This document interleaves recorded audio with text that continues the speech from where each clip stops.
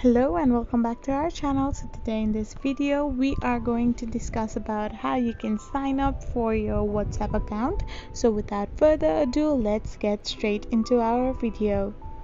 So first and foremost all you need to do is open your whatsapp app and select the language preference. Once you do so you need to click on agree and continue and enter the mobile phone number which you are using to log in to your whatsapp account. Once you type in your mobile phone number, you need to simply press on the next button. After clicking on next, it will start to connect to your mobile phone. Now it will reconfirm your mobile phone, so you just need to click OK or edit it and click on continue so now after enabling and giving all the permissions you will get a verification via call or if the call, call is not working for a long time it will send a message on your number so the verification code will be sent to your number which you have to press to confirm it once the verification is completed all you need to do is allow permissions to your whatsapp and you will be all logged in